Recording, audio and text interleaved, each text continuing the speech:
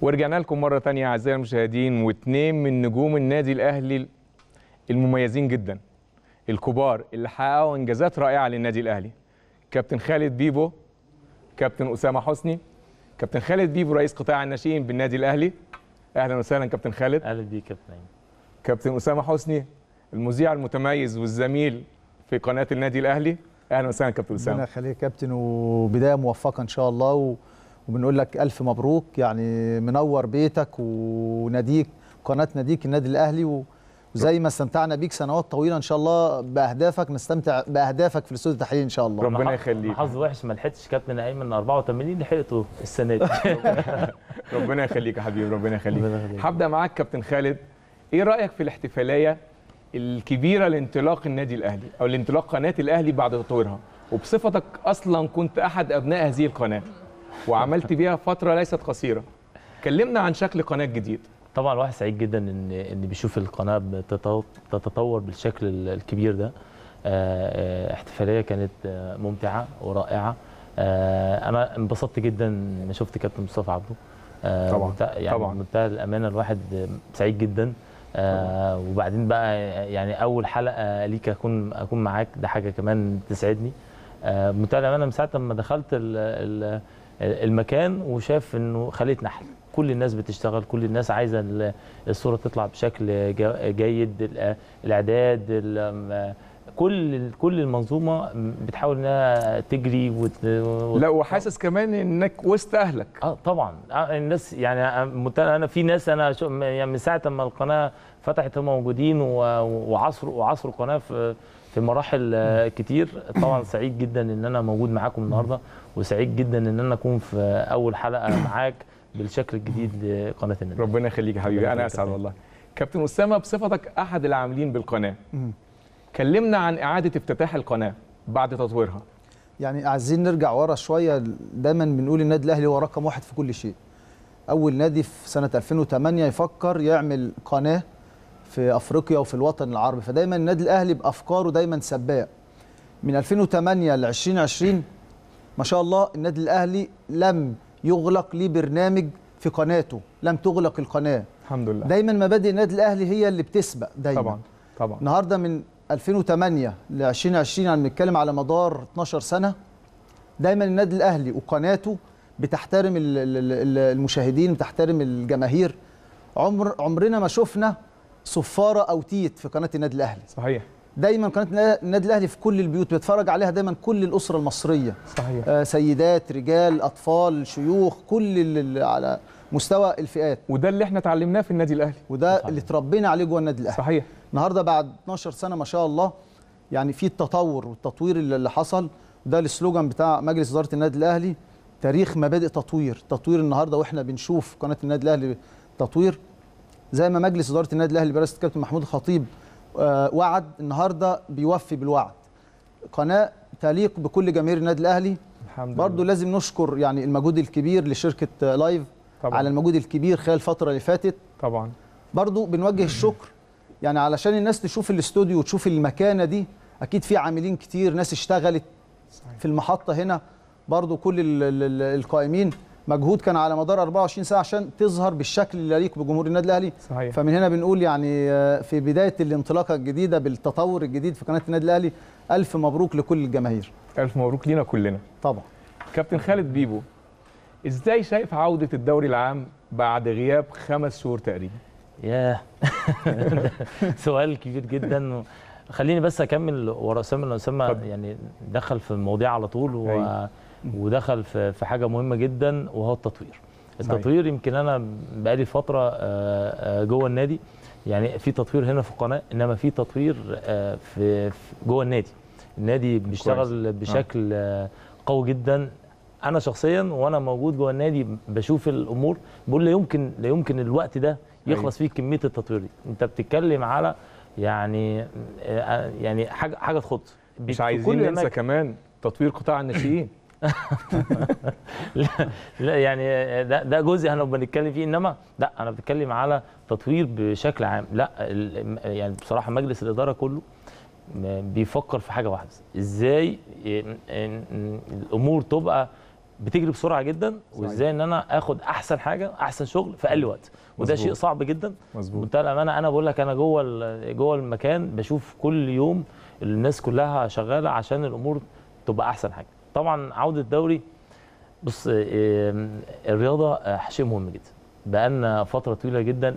أنا متهيألي إن كل الناس سعيدة ومبسوطة إن هي بتشوف المباريات الودية في في التلفزيون. صحيح. وكل الناس ابتدت ترجع تاني تتفرج وتتابع. عودة الدوري لل... لل... هو الح... حياة المواطنين في في مصر. الكورة. والرياضة شيء مهم جدا وإحنا اتعودنا وتربينا إن أنت إزاي تتفرج على كورة وإزاي إن أنت تستمتع بكرة القدم تستمتع بال- بالروح ال- ال- الجميلة. وهي ما بقتش كورة بس دي صناعة واقتصاد ويعني حاجات كتير قوي. بص إحنا اتعودنا طول عمرنا الرياضة بتجمع ما بتفرقش. صحيح. بس. صحيح. كابتن أسامة. شايف بعد عودة الدوري إن شاء الله إزاي شايف المنافسة بين النادي الأهلي وبقية الأندية؟ يعني يعني حضرتك لسه أول يوم مذيع النهارده كابتن بتسال عن الدوري شكل الدوري بالنسبة للنادي الأهلي. ما أنا هانت ناقص أسبوع. آه، يعني إحنا لما ما شاء الله لما بنتكلم عن الدوري بالنسبة للنادي الأهلي بنقول ماركة مسجلة. صحيح. يعني أنت بتتكلم النهارده 41 دوري يعني فارق كبير, كبير. بين كل الأندية المنافسة في ال- ال- الدوري. صحيح. فالنادي الأهلي بالنسبة للدوري دي في مكانة ما مظبوط. شاء الله يعني حتى بر- وإحنا بر- بالراحة شوية يا سام بالراحة. يمكن بيفكرني شوية زي عودة الدوري الإنجليزي. آه. كان الفرق بين ليفربول وبقية الفرق. آه طبعا. يعني إحنا فرق بيننا وبين أقرب واحد لينا في فرق 16 فرق. نقطة. آه. و- وهم كمان اللي قبلنا لعب أكتر مننا مباراة زيادة. كمان السنة دي الدوري يعني حلاوة الدوري قبل ما يتوقف النادي الأهلي ما شاء الله عامل أرقام قياسية صحيح. مع ريني فايلر صحيح. مع اللاعبين آه مظبوط. في استقرار. مستوى التهديف كمان. صحيح. آه الجمل وطريقه اللعب والأسلوب كمان اللي بيلعب بيه ريني فايلر. فده اللي عجب الناس. الأرقام القياسية كمان في مستوى الدوري.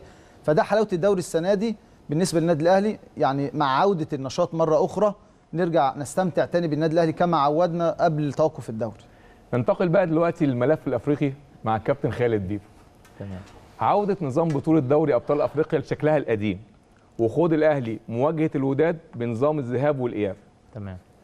هيكون في صالح النادي الأهلي؟ من وجهة نظرك شايفها إزاي؟ بلا شك طبعا آه، إن النادي الأهلي بقاله فترة طويلة قوي ما بيلعبش مباراة. وأنت لما بتبقى داخل على مباراة الحسم زي كده مباراتين أحسن من مباراة بكل الأشكال. آه انت مش جاهز بقالك فترة ما بتلعبش مباريات بق- بقالك فترة آه اللعيبة مش متجمعين أصلا آه، آه، ممكن يكون لأي شكل من الأشكال ابتدوا ينسوا حتى طريقه طريقة بعض محتاجين إن هم يشتغلوا مع بعض كتير. فكونك إن أنت تيجي بعد فترة طويلة دي بتعمل مباراة وديه وتيجي تلعب مباراة في بطولة كبيرة أنت بت... أنت بتدور عليها بقالك فترة و... وكل التجهيزات جوه النادي إن إحنا إن شاء الله نبقى يا رب بإذن الله. ناخد البطولة دي. إن شاء الله. فأنا شايف ان إن الفرصتين أحسن من فرصة. في المباريات. الحاسمة زي كده طبعا. آه، التجهيز هيبقى بالنسبة لها مختلف. ومباراة العودة هتكون عندنا إن شاء الله. فطبعا فأنت ال- الفرص بالنسبة لك هتبقى هتبقى أحسن. تقدر. إن أنت تروح تحقق نتيجة إيجابية في في الأول على ما آه، آه، تش- تشتغل في مباراة تكون أنت دخلت تاني الفورمة بتاعتك بشكل آه، آه، جيد. تقدر إن أنت تحسم هنا آه، في المباراة. فبلا شك المباراتين أحسن مباراة. شايف مباراة الوداد المغربي من الناحية الفنية إزاي يا كابتن أسامة؟ يعني قبل المباراة الحظوظ متساوية. هنقول 50 50 الوداد المغربي برضو عنده نفس الدوافع بتاعت النادي الأهلي. السنة اللي فاتت وصل آه، الفاينل. اتظلم برضو أمام الترجي التونسي صحيح. صحيح. على المستوى السنين ال- السابقة بيوصل برضو بيعرف يوصل دور قبل النهائي بيوصل النهائي فعنده فريق جيد النادي الأهلي برضو نفس الكلام. يعني من 2013 ما حققناش البطولة فده حلم بالنسبة للعيبة النادي الأهلي وجمهور النادي الأهلي. وصلنا مرتين ممكن كان فيهم عدم توفيق وفيهم ظروف أيضا خارجية. لكن السنة دي الشكل مختلف. يعني آه، ادينا مباريات كبيرة. مباراه الهلال السوداني كانت في السودان كانت مباراة كبيرة واللعيبة آه، أدوها بشكل رائع وفايلر أدارها بشكل جيد. ماتشين سان داونز أداروهم برضو بشكل جيد. فدوافع النادي الأهلي برضو كبيرة السنة دي. زي ما الكابتن يعني خالد قال يعني حظوظ الماتشين إن شاء الله تكون مع النادي الأهلي خاصة إن المباراة الثانية تكون على يعني في ملعبنا في استاد القاهرة. فإن شاء الله. تكون حظوظ أكبر بالنسبة لنا إن شاء الله. بإذن الله. إن شاء الله. كابتن خالد بيبو إيه رأيك في مستوى فريق الوداد المغربي؟ من الناحية الفنية فريق جيد بعد ما بيوصل لل- لل- لل- للمستوى المتقدم ده ويوصل ال- ال- نهايات ال- البطولة أكيد فرقة منظمة بشكل بشكل جيد جدا بس أنا أنا أنا رأيي دايما ان إن فترة التوقف الكبيرة دي هي إزاي إن أنت تقدر تنمي نفسك. إزاي تقدر إن أنت آه، تجهز نفسك إن أنت تخش بمباراه تدور على نقاط قوتك انت. ما تدورش ان انت الفرقة اللي هتلعبها هي هي الأقوى هو الأحسن هي الاكثر. التنظيم لا فرقة كويسة. فرقة بت- بتلعب كرة جيدة جدا. فرقة قدرت إن هي توصل لمكان محترم في البطولة. فتنظيميا هي جيده إنما أنت أنت عندك نقاط قوة كتير جدا لازم تشتغل عليها بشكل كويس جدا. هي اللي تقدر تخليك إن أنت توصل لل- للمباراة الثانية في مصر بشكل أحسن. طيب كابتن أسامة حسني. أنت قلت كلمة إن فرقة الوداد اتظلمت السنة اللي فاتت. آه. هل ده ممكن يقلقنا شوية من الناحية التحكيمية؟ آه، يعني آه، ممكن كل شيء وارد في كرة القدم. لكن دايما إحنا متعودين وإحنا كلاعيبة آه، دايما يعني في جزء كبير علينا إن إحنا نقدر نحسم المباراة داخل الملعب. يعني إحنا كنا في مباراة سان داونز كنا متخوفين شوية من بكاري جسامة. أيوه. النادي الأهلي أدى مباراة رائعة. على ما اعتقد وقتها علي معلول الهدف الأول اللي خلص المباراة فأنت كلاعب يعني مش عايز ألقي اللوم على الحكم أو كده لا دايما أنت بتحسب ال ال ال الأمور, الأمور. بإيدك أنت أو يعني دايما الأمور متاحة في إيدك أنت كلاعب إنك تقدر يعني لو في حكم ولا في حاجة تقدر تخلصها أنت بدري بدري طب هل وجود آه. مستر جاريدو آه مدير فني للوداد يصعب المهمة على النادي الأهلي جريدو طبعا يعني مدرب. اشتغل في النادي آه. الأهلي مدرب آه، تمرس داخل أفريقيا ليه خبرات. أكيد يعني عارف برضو آه، لعيبة النادي الأهلي وخاصة كمان الماتشين اللي الأهلي لعب أمام النجم الساحلي فيهم. يعني لما كان متولي قيادة النجم الساحلي كان جاريدو كان في المباراة اللي كانت في استاد السلام. فهو عارف لعيبة النادي الأهلي وعارف طموح جمهور لعيبة النادي الأهلي فأكيد هيعمل حساب لجمهور النادي الأهلي.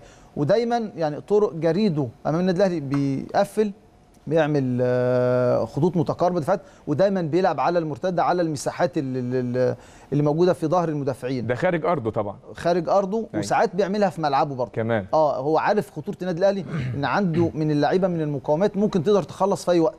فهو م. دايما بيعتمد في أسلوب لعبه على النقطة دي. عندنا برضه فايلر بيقدر يعني يجيد في حتة التحفظات الدفاعية دي بيقدر يشتغل بشكل كويس. كابتن خالد بيبو لو بإيدك تختار فريق من الفرقتين كنت اخترت الوداد ولا الرجاء؟ انه أقوى؟ من الناحية الفنية. لا آه، بص أسامة كان بيتكلم على نقطة مهمة جدا. ال- الفرق اللي بتقدر تشتغل قدام النادي الأهلي خطوط متقاربة بتعمل صعوبات للنادي الأهلي. خلينا نبقى واضحين. ليه؟ النادي الأهلي آه، بيحب يشتغل على مساحات واسعة. بيحب يشتغل إن هو إزاي إزاي يفرغ المساحات لخطوطه. النادي الأهلي بقاله فترة طويلة قوي ما بيعرفش يلعب على الهجمة المرتدة. بعيد جدا عن الهجمة المرتدة. بيشتغل على التنظيم التنظيم الهجومي أيوة. والجبهات. أيوة. الجبهه الجبهة الشمال علي معلول, علي معلول. ورمضان. الجبهة ال- ال- اليمين أحمد فتحي أو محمد هاني. والاختراق من العمق عن آه، آه، آه، طريق ال- المهاجمين. إذا كنت هتحط كمان وليد سليمان تحتهم تحط رمضان ناحية الشمال تحط كهرباء. فالنادي الأهلي ليه طريقة لعب واضحة أيوة. إزاي مساحة إزاي إن أنا بقدر أوسع مساحة أيوة. عشان أطلع علي معلول على الطرف عشان أقدر أعمل ال over وعلي معلول كمان بيطلع على الطرف ما بيعملش over أيوة. عالي. لا بيعمل أيوة. اوفر مع يعني أي- كابتن ايمن شو مش موجود في الملعب. الله يخليك. فبيشتغل بيشتغل على الناس اللي موجودين. يعني أنت بقالك فترة أنت بتشتغل على الناس اللي, اللي خلف المهاجم أكتر من أيوة. المهاجم الصريح. حتى المهاجم الصريح ال- ال- اللي بيلعب أجاي كمان هو بيشتغل كمان من تحت راس الحرب أيوه فكل لعيبة النادي الأهلي مفيش تمركز في راس الحرب فالمساحة مظبوط. دي بتبقى فاضية. مظبوط. بتتفضل للأربع لعيبة. يعني مظبوط. ده ده كلام كان مهم جدا ان إن إحنا نقوله. صحيح. ان إن ان فكرة إن أنا ما عنديش راس حربة صريح بقى, بقى عندي أربعة راس حربة. بيقدروا يشتغلوا في نفس المكان اللي بيتفضل عن طريق راس حربة لأن أنا ما بلعبش راس حربة صريح. فالمكان فاضي. اشتغل عليه بشكل كويس جدا. فمعنى إن أنا أشتغل على فرقة منظمة زي ما كان بيتكلم أسامة على الهجمة المرتدة النادي الأهلي عنده طرفين بيطيروا طول الوقت. علي معلول بيطير إذا كان محمد هاني أو أحمد فتحي الاثنين بيطيروا عشان أقدر أشتغل على الهجمة على على على, على من ورا من ورا الم- المدافعين. طب إحنا عارفين إن دي التجربة الأفريقية الأولى لمستر فايلر. تمام. شايفينها إزاي؟ لا أنا شايف لغاية دلوقتي هو محقق فيها نجاح بشكل كويس جدا أنت السنة اللي فاتت ال- الأمور اللي كانت كانت صعبة جدا مع سان داونز هو قدر. السنة دي يحل المشاكل اللي حصلت في الم- في المباراة هناك وقدر إن هو يخرج بنتيجة جيدة جدا خلتك قدرت تشتغل هنا وأنت مرتاح وما عندكش أي مشاكل في المباراة فده ذكاء منه أول حاجة أيوة. هو مسك مفاتيح اللعب مفاتيح. اللعب جوه النادي وابتدى يحفظ لعيبة النادي الأهلي وابتدى يطوعهم أيوه. آه، آه، يطوع اللعيبة لطريقة لعبه واللعيبة أيوة. ابتدت تنفذ طريقة لعب تطوير الكره بقى هو ميزة لعيبة النادي الأهلي في الف- الفترات ال- الأخيرة. صحيح. وابتدى إحنا شفنا النادي الأهلي في فترة كان بيعتمد بشكل كبير جدا على الكور الطويله الكره الطويله دي خسرت النادي الأهلي كتير خسرت. هوية النادي الأهلي. لما رجع النادي الأهلي يلعب على المساحات الصغيرة ويلعب على ال- المثلثات والمربعات واثنين على الجبهات وبيروح لهم واحد نص الملعب وبيه- وبي- ويتحول كمان معاهم راس الحربه بيبقى في أربعة من الجبهه وتلاقي الناحية الثانية الراجل بيشتغل الناحية الت- الطرف الناحية الثانية بيلعب رأس حربة ثاني الكلام ده كله قدر يرجع تاني النادي الأهلي يلعب في مساحات صغيرة جوه النادي جوه الملعب وده اللي خلى النادي الأهلي يرجع يتفوق تاني ونسي الكرة الطويلة اللي كانت حاجة يا كابتن أيوة. يا كابتن أيمن أهم ما يميز آه، فايلر إنه أستأذنكم بعد إذنكم اتفضل. معانا مكالمة من البرتغال برتغالي بقى مستر مانويل جوزيه مستر مانويل جوزيه عبر التليفون عاشق الأهلي ومعشوق جماهير الأهلي المدرب الأسطوري وصاحب الأرقام القياسية مع النادي الأهلي الساحر مستر مانويل جوزيه أهلا بيك على قناة ناديك النادي الأهلي مستر مانويل.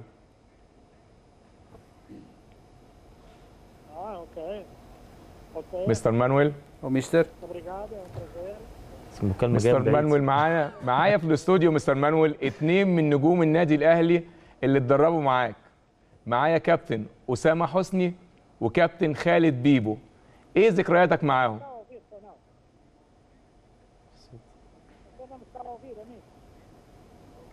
أنا مش سامعك. الصوت بعيد شوية. كابتن ايمن بيسمع الوقت. مستر مانويل جوزيه معايا النهارده كابتن خالد بيبو وكابتن أسامة حسني. والاثنين لعبوا معاك. إيه أحلى الذكريات اللي تفتكرها معاهم?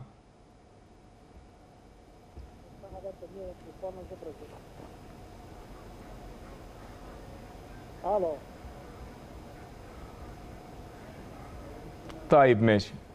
لحد ما يرجع التليفون كنا عايزين نسأل الكابتن أسامة حسني. أنا في نقطة بس يعني كنت تكملة الكلام كابتن خالد بيبو أهم ما يميز ريني فايلر. دايما المدرب الشاطر اللي بيعمل جو تنافسي جوه الفرقة. كويس. مفيش حد من اللعيبة بيحجز مكانه. صحيح. يعني دايما كل واحد حتى لو وصلت نجوميتك أو إن إنك يعني مؤثر داخل الفريق أو إنك أساسي أو بتكسب الفريق لكن دايما بتشتغل على مفهوم عايز أحافظ على المكان بتاعي. أيوه فده أهم حاجة بتميز ريني فايلر إن هو شاطر في النقطة دي.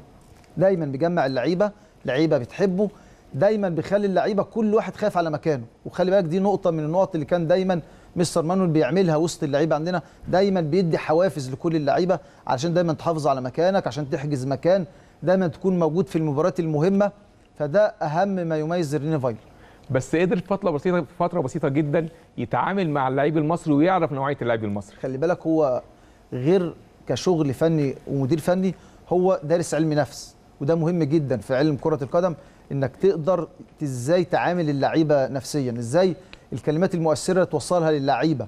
يعني النهارده مباراة زي سان داونز هناك آه أنت خسران آه خمسة. السنة اللي قبليها رايح هناك بمعنويات الآن. مظبوط. إزاي يتعامل مع اللعيبة؟ إزاي يوصل لهم الرسالة؟ صحيح. إزاي تحرروا من الضغوط اللي كانت عليهم؟ آه. شفنا النادي الأهلي نزل أدى مباراة رائعة كان يعني ممكن يكسب فيها كمان بنتيجة كبيرة. واللعيبة كلها ش... النتيجة والأداء اللي جت في المباراة نتيجة مدرب غير الفنيات الضغوط النفسية قدر يحررهم منها علشان كده شفنا الشكل وإحنا برضو مش. عايزين آه، ننسى دور اللعيبة لأن النادي الأهلي. عنده لعيبة كبيرة دايما طبعا عنده. لعيبة كبيرة. ولعيبة خبرات في المواقف الصعبة صحيح. بيظهر معدنها كمان كابتن خالد بيبو أنت صعبت لنا الأمر بالنسبة لماتش الوداد المغربي هل عودة الدوري المغربي قبل الدوري المصري تدي أفضلية لأندية المغرب علينا؟ بس مش كتير. يعني أنت يعني هتلحق هتلحق تخش ال- ال- المباريات. آه طب بص أنت ال- الفترة كانت طويلة. والفترة كانت آه، بعيدة جدا. في ناس كتير قوي يعني قدرت إن هي أنا أنا عارف لعيبه النادي الأهلي استثمروا الفترة. اشتغلوا على نفسهم ما كانوش بعيد. أيوه. عشان كده لما بدأنا فت- فترة إعداد وبدانا التجمع ده لعيبه النادي الأهلي تاني. دخلوا بسرعة في في الجيم لأن هم كانوا واخدين شغل كانوا بيعملوه ما كانش ما فيش لعيبة بقى ما اللعيبه ما رجعش نرجع تاني نتكلم على الوزن ونرجع تاني نتكلم. لا اللعيبه ما كانتش بعيد اللعيبة كانت كانوا واخدين برنامج بينفذوه آه، في البيت وكان في متابعة على البرنامج ده. فالكلام ده كله ساعدك إن أنت لما رجعت دخلت بسرعة قدرت تعمل مباراة آه، آه، ودية على طول قدرت إن أنت تشتغل بالفكرة اللي أنت تشتغل بيها. شفنا شفنا أول مباراة للنادي الأهلي. طبعا أكيد هتاخد فترة بس الفترة مش زي ما انت كنت لو انت سايب خالص. صحيح. لا فعشان صحيح. كده أنا بقول لك طبعا ال- المباراة مش سهلة. طبعا. عشان بس نبقى عارفين مش عايزين نسهل آه، سهل الأمور. لا, لا المباراة. صعبة جدا. ميزة النادي الأهلي إن هو بيعرف يتعامل مع كل خصم على قد حجمه. أيوه. وبيقدر إن هو يشتغل مع كل آه، فريق بالطريقة اللي هو شايفها مناسبة للمباراة. النادي الأهلي بيقدر يحط سيطرته على المباراة زي ما هو عايز.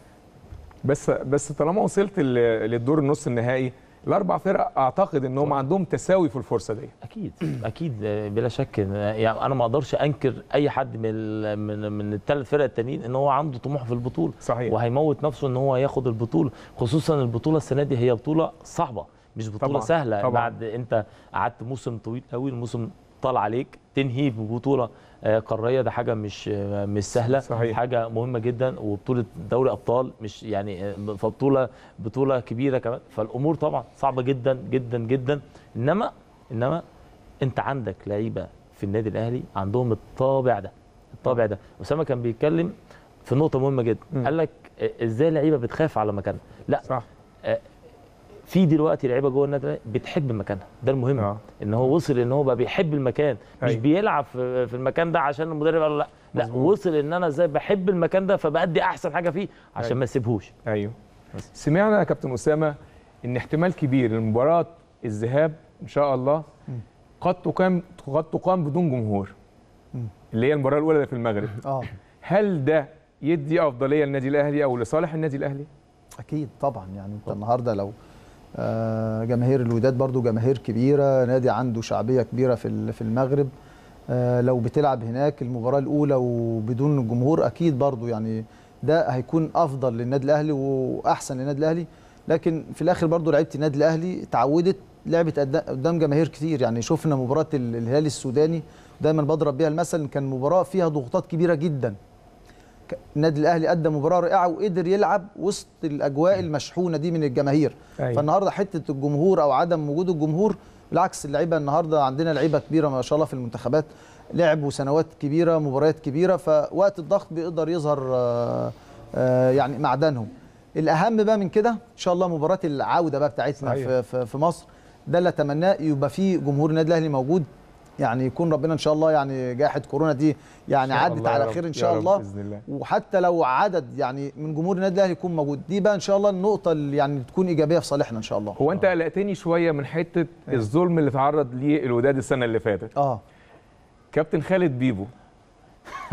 إيه رأيك في مستوى التحكيم الأفريقي الفترة الأخيرة؟ مش عايز أتكلم عن التحكيم مش عايز أتكلم عن التحكيم الأفريقي. لا بص آه، في كل آه، منظومة في الدنيا في الجيد وفي ال- ال- اللي بيحاول يبقى جيد وفي اللي هو مستوى ضعيف أيوة. ممكن في وقت من الأوقات إن أنت حكم يجي لك حكم مستوى ضعيف يبوظ لك مباراة وممكن يجي لك حكم مستواه جيد يقدر إن هو يعني إحنا كنا قلقانين من من حكم في في في مباراة داونز صح آه. وكنا خايفين جدا بس الحكم كان أحسن ما يكون أيوه. إحنا يعني برضو بقينا في مشكلة إن إحنا دلوقتي بقينا رايحين للسكة دي قوي صح. يعني بقينا مركزين فيها قوي قوي آه زيادة على اللزوم. آه. وده أيوة. مش صح. أيوة. إحنا ما مش عايزين نحط لعبتنا وأجهزتنا. شماعة يقدروا إن هم يتكلموا عليها كل شوية. طيب. أنا شايف إن إحنا لازم نخرج من القصة دي أستأذنكم بعد إذنكم. معانا من البرتغال الساحر البرتغالي مستر مانويل جوزيه. مستر مانويل أهلا بيك على قناه ناديك النادي الأهلي في انطلاقته الجديدة. مستر مانويل معايا في الاستوديو اتنين من نجوم الأهلي اللي اتدربوا معاك. معايا كابتن أسامة حسني معايا كابتن خالد بيبو. إيه أجمل الذكريات اللي تفتكرها معاهم؟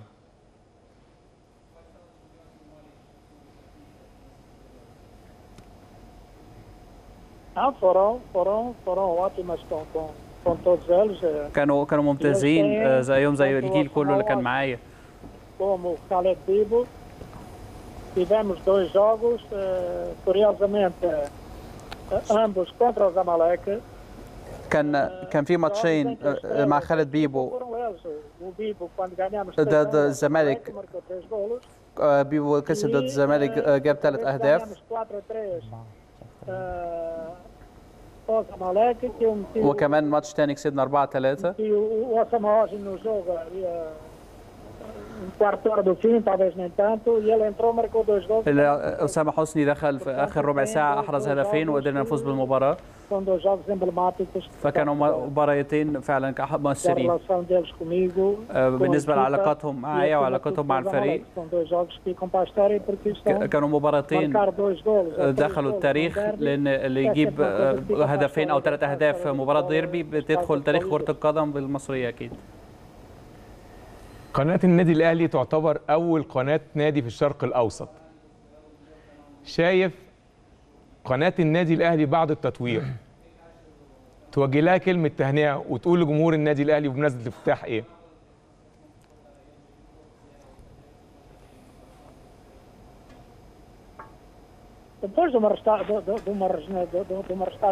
أكيد بعد تجديد القناة. Que essa restauração tenha sido bem feita. أتمنى أن يكون التجديد دوت يساعد إنها في النجاح أكتر. فشايف إن اعاده التهيئه للقناه بتساعد النادي والقناة إنها تكمل النجاح وتزود النجاح اللي كانت موجود في القناة من الأول. وأكيد هترفع اسم النادي الأهلي. وتوصله جميع ال- أنحاء العالم وخصوصا العالم العربي. قناة الأهلي كانت ورا الفريق في بطولاته وانتصاراته داخل وخارج القارة. كيف كان التعامل معها وأبرز مواقفك مع قناة الأهلي؟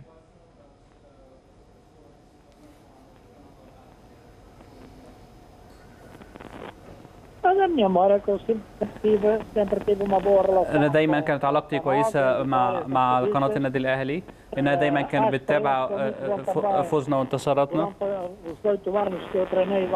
وفي خلال الثمان سنين اللي مريت ده مريت في النادي الأهلي كان في نجاحات كبيرة. فأكيد كان في. دافع للقناة ان هي تغطي انتصاراتنا وفوز ال- ال- النادي الكبير النجمين اللي موجودين معايا النهارده في الاستوديو كل واحد فيهم ليه ذكرى مميزه معاك. تحب تقول لهم إيه؟ Eles têm uma memória especial comigo, então eles primeiro que digam qual é a memória هو. أطلب منهم هم الأول يقولوا إيه ذكرياتهم معايا. إيه ذكرياتكم إيه مع ذكريات؟ مستر مانويل؟ قول يا سام كابتن خالد بيبو. ده صديق. أجمل الذكريات مع صديقي. مستر مانويل بص أنا بعتز بعتز جدا بصداقته وبتكلم معاه كتير وبحس إن وأنا بتكلم معاه إن هو يعني شخصية قدر إزاي إن هو يخلينا كلنا كلنا يعني ده بيبقى صعب في كرة القدم. إن كل اللي موجودين في الفرقة يحبوه ويخافوا منه ويحترموه وينفذوا كلامه. هل أنت على اتصال بيه لحد دلوقتي؟ طبعا. طبعا. طبعا. طبعا. هو علمنا حاجة مهمة جدا. علمنا؟ حاجة مهمة جدا. إزاي لعيب يحب مكانه ويخاف عليه. ودي أهم حاجة أنا شايفها آه، في, في, في أي مدرب Ah, في العالم. إن هو إن يوصلك إن أنت بتحب المكان اللي بتلعب فيه. صحيح. ودي سمة من سمات لعيبة النادي الأهلي على فكرة. صح. حاجة كابتن أسامة حسني. يعني مع مستر مانويل. اتعلمنا دايما في النادي الأهلي في سق... في آه شيء واحد هو دايما الفوز. أيوه. عمرنا ما بصينا على الخسارة والتعادل. دايما هدفنا الفوز. أيوة. ادانا برضو ثقافة تانية لما كنا بنطلع بره في تونس والمغرب والجزائر وكانت الأمور صعبة دايما. عند عندنا مشكلة لما كنا بنطلع بره.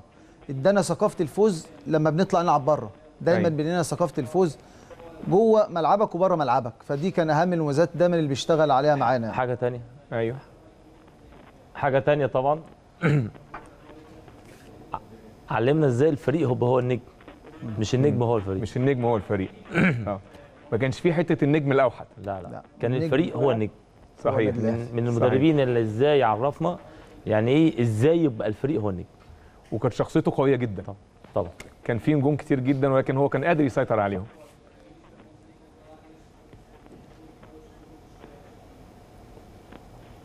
مستر مانويل إيه رأيك من الناحية الفنية في مباراة الأهلي والوداد القادمة إن شاء الله؟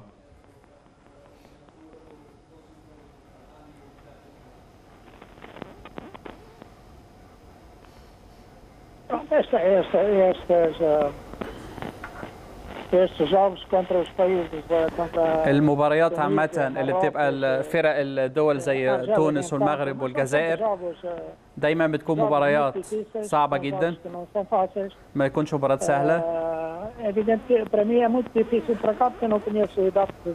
Agora não sei. بالنسبة لي صعب إن أحلل بالظبط الموضوع لأن آه، آه، أكيد آه، وضع فرقة الوداد لكن بما إنهم فازوا بالدوري فأكيد فرقة كويسة Portanto, não tenho conhecimento فال sobre- as duas equipas الأهلي كمان مع. المدرب الجديد مش عارف ادائهم بالظبط إزاي فما أقدرش أقول ال- ال- المباراة هتتم إزاي.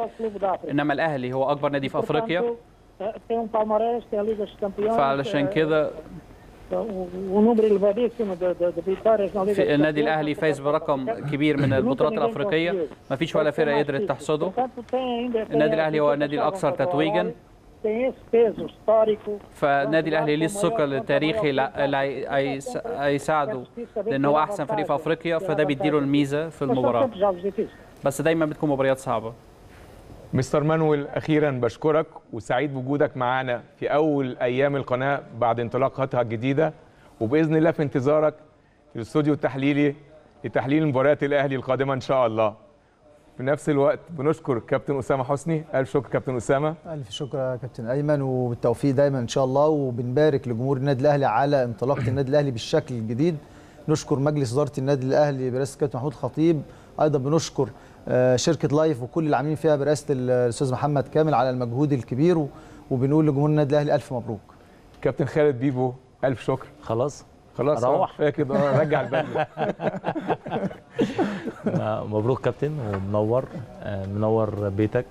وأنا شخصيا سعيد جدا إن أنا كنت موجود معاك النهارده ربنا يخليك يا حبيبي. في انطلاقة آه، انطلاقة من بشكل مختلف. ربنا واتمنى. لك التوفيق. وسعيد إن أنا أول مرة أطلع مع اسامه ولا طلعنا مع أول مرة. أول مرة. أول مرة صدق. شكرا يا كابتن. بشكركم جدا على وجودكم معايا النهارده في الاحتفالية المميزة لانطلاق- لانطلاقة قناة النادي بعد تطويرها. وخلونا نتابع بعد الفاصل. إن شاء الله هنستقبل أربعة من نجوم الاستوديو التحليلي الكبار. كباتن مصر كابتن علاء ميهوب كابتن محمد يوسف كابتن عادل مصطفى والناشئ المعجزة كابتن هاني العجيزي. هو أنت قاعد يا كابتن؟ مش أنا قاعد أنا نايم النهارده. طب قول لنا بقى قول لنا أنا ما صدقت أجي هنا على الكرسي ده. قول- لنا يا كابتن والنبي بس مشوارك في الطيارة بس. ال intro اللي أنت عملته ده يا كابتن حفظته في كام ساعة؟ ربنا يخليك. شرفتونا يا كابتن، شكرا. ألف ألف شكر ربنا يخليك. شكرا.